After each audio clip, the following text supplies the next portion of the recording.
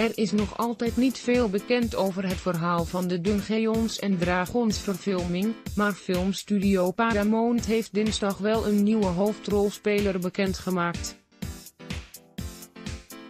Hugh Grant gaat de bad guy spelen in de nog titeloze film.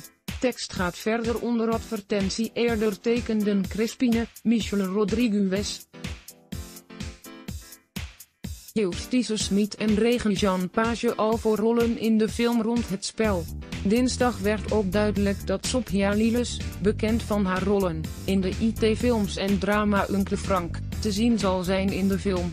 Het script van de verfilming wordt geschreven door Jonathan Goldstein en John Francis Daly, die eerder werkten aan de scenario's van onder meer de Horrible Bosses films en Spider-Man, Homecoming. Een filmversie van Dungeons en Dragons, dat aan de basis stond van de role-playing game trend in de jaren 80, staat al jaren op de rol.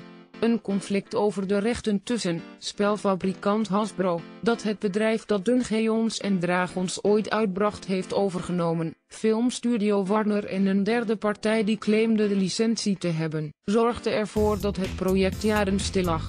Dungeons en Dragons kwam bijna 50 jaar geleden op de markt. Inmiddels hebben ruim 50 miljoen mensen het gespeeld. Buzzelets Blokkades